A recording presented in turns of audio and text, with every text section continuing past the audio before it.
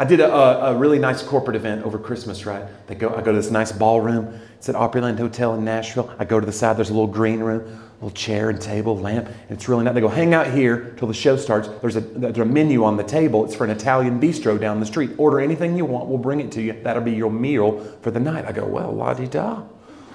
I'm a big shot comedian. Get my own meal. Well, okay. But then I look at this menu and I'm freaking out, y'all, because it's in all Italian, every word of it. And I didn't grow up like that with real Italian food.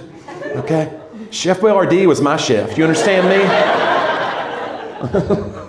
Kraft mac and cheese with hot dogs cut in it. That's what we had. Or like on a fancy night, we might go out to Olive Garden. What? Olive Garden? Well, put on the good sweatpants. That kind of thing. You get it. Know what I'm talking about. So I'm having a panic attack. Look at this menu. I don't want to look stupid. My brother's with me. I go, dude, do you know any of these words? Like, what is the? I know this is a kind of pasta. What is cavatappi? He goes, I think that's uh, corkscrew pasta. And I said, I thought that was called rotini. He said, I think you're right. and then I said this out loud to another person. I said, Well, maybe it goes the other way. you can't take that back, Topeka. That's out there. That's done.